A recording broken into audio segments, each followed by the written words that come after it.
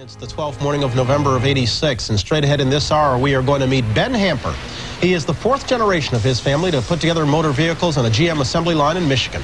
But he is the first in his family to also write about life on that assembly line. And as we'll see, he writes very well, even if it's not very well received by his bosses. And we'll also. Contributing correspondent Betty Rollin is back with us this morning with another of her People You Should Know. This is her series about people who aren't household names but are certainly worth knowing. Betty. Thanks, Jane. There are a lot of people in all kinds of jobs who think they have a talent for writing. They're usually wrong. But this morning's story is about a 31-year-old factory worker who thought that, and he was right. Flint, Michigan, birthplace of General Motors. In spite of cutbacks, 60,000 workers are still employed here. Ben Hamper, a fourth-generation GM worker, is one of them. Ben's a riveter. He makes trucks. But that's not all. He also makes words. Rather than dreading the tedium that accompanies assembly labor, I found that one should lie down and wallow in it. Let repetition be its own reward. Reject change, reject variety, aspire to vegetation and dance that trance around. His column, Impressions of a Rivet Head, has appeared everywhere from an underground Flint newspaper to Harper's Magazine. The Wall Street Journal ran a front page profile of Ben, and Mother Jones magazine put him on the cover. I sort of enjoy the fact that I'm celebrating the average man. There's so many, so many, you know, columns and books and novels and stories written about congressmen and Reggie Jackson. Here I am writing about the steering gear man or the Polish sex god or the boss man or uh, Hogjaw. These are all characters that work on the rivet line. Just, you know, minute figures in history. But to me, you know, they're important people. It pleases Ben that among his co-workers, he's still just another rivet head. They're not all that impressed by it, you know. They're more interested in uh, hot rod review, uh, you know, and fixing up motorcycles, racing snowmobiles. They're not into, you know, writing as much. They think it's fine. They think it's great, but they it's no big thing to them, you know, unless I got something in field or stream or. what does your family feel about your success?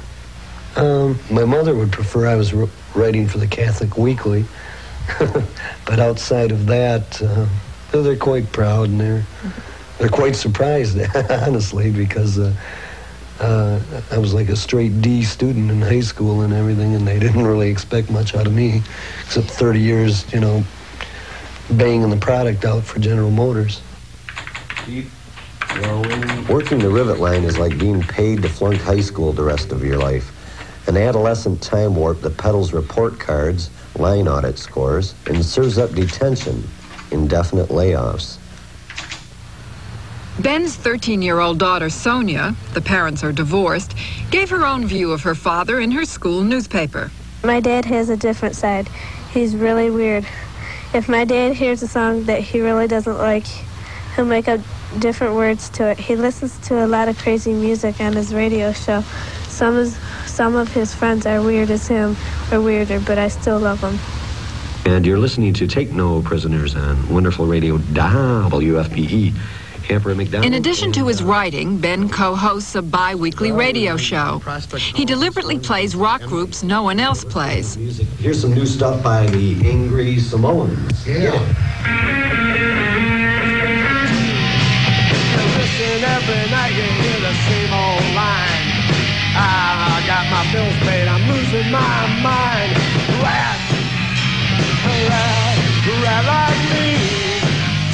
He also has musical ambitions of his own.